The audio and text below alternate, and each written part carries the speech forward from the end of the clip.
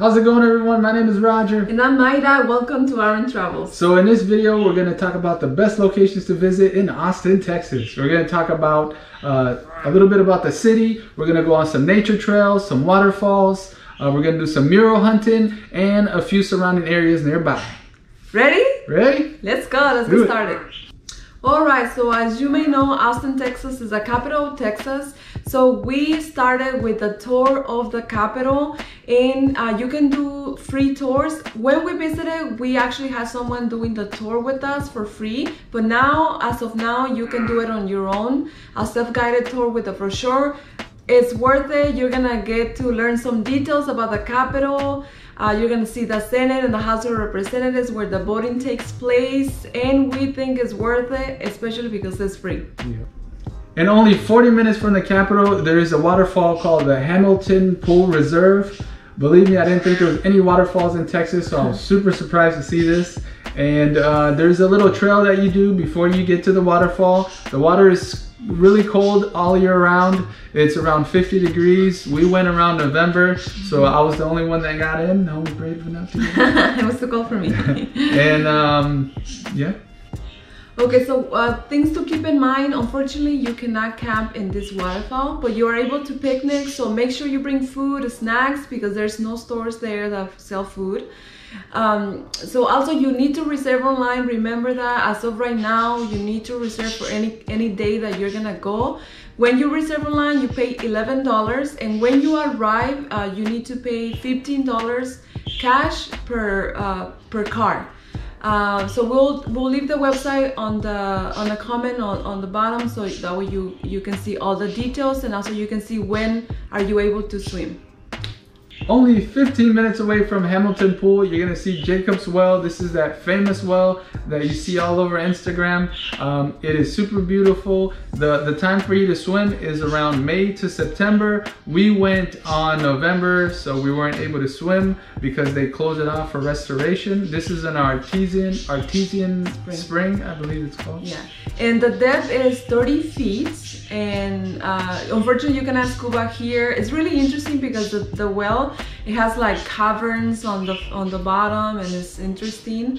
Um, the water temperature is constant, is 68 uh, Fahrenheit degrees um, annually, and during the summertime when you are able to swim, you have to make reservations. They only charge uh, nine dollars per adult and five dollars per child, but you do need to make reservations. I think you have it like up to two hours for uh, to enjoy the swimming.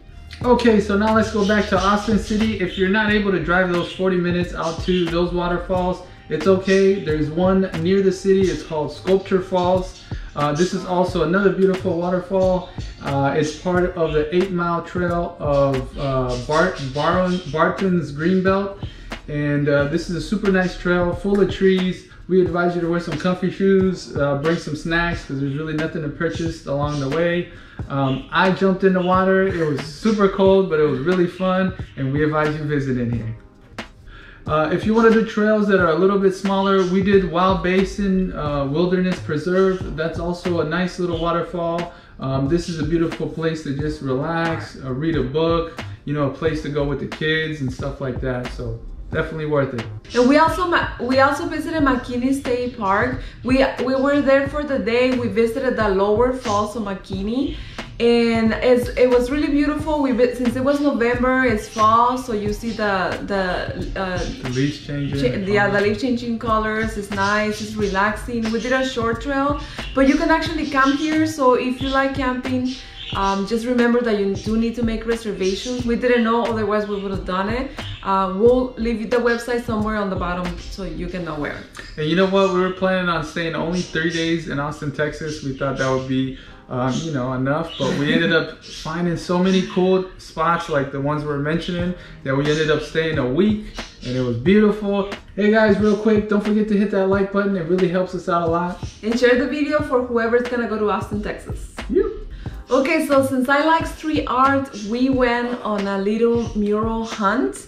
And the first one that we went to is the I Love You So Much. And uh, this one is actually located on Jo's Coffee. And we recommend you to go there in the mornings. We went there in the morning, we got our coffee, we enjoyed there a little bit, and then we got to take a cute picture. Mm-hmm. And the next uh, mural that we did visit was Love from Austin. Uh, we thought it was really cool as well. This is next to the Pr- Prima Dora store. Um, if you're looking for gifts or souvenir, you know, this is a good place to get it. Uh, we actually spent, you know, quite some time here. And yeah. And we also went to visit the Greetings from Austin, Texas. So this one is located at 1720 uh, South First Street in Austin. So and we also recommend it.